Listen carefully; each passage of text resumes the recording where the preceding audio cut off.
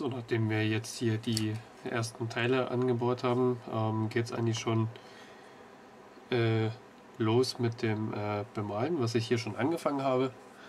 Ähm, ich habe für das Innenleben ein Farbton Holzbraun von Revell gewählt.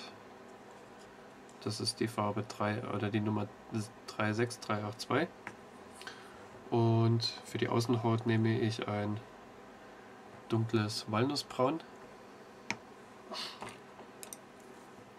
Und ja, wir werden jetzt auf jeden Fall den kompletten Rumpf erstmal so anmalen, bevor wir dann mit den einzelnen Verkleidungen außen anfangen können, welche auch die Geländer und Railings alles beinhaltet.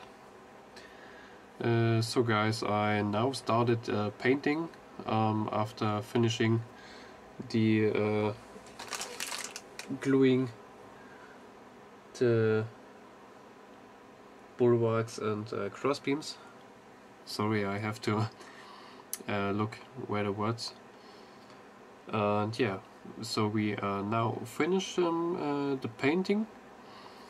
Um, for the decks I use from Revell uh, wood brown.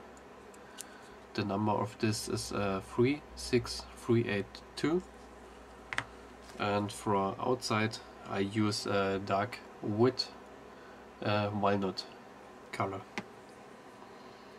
After painting we can start with the uh,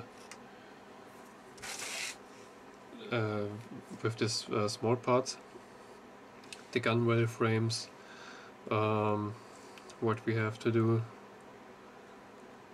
Yeah, also these are all elements which come outside of the hull.